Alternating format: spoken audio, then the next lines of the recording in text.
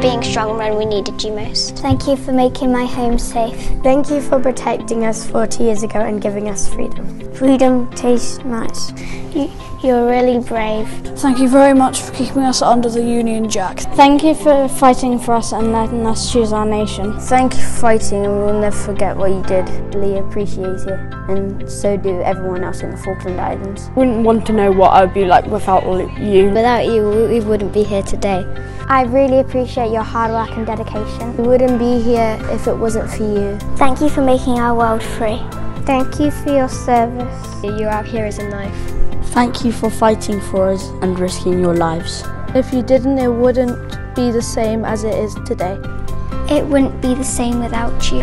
Thank you very much for giving the Falkland Island justice and putting your life on the line for people like us that, you know, there's a million people in the world that could have had that. Thank you for fighting for our freedom. Because of you guys, we're able to live in peace now. Thank you very much for fighting for our freedom and democracy. Thank you for fighting for our justice. Thank you for keeping us British. Thank you for defending us during the conflict. Thank you for sacrificing everything. And thank you for your bravery.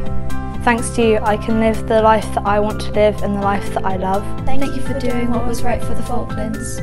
We can now feel free to do whatever we want. We don't know what the Falklands would be like if you guys didn't fight for us. You're amazing and Thank you very much. Thank you very much. Thank you very much. Thank, Thank you very much.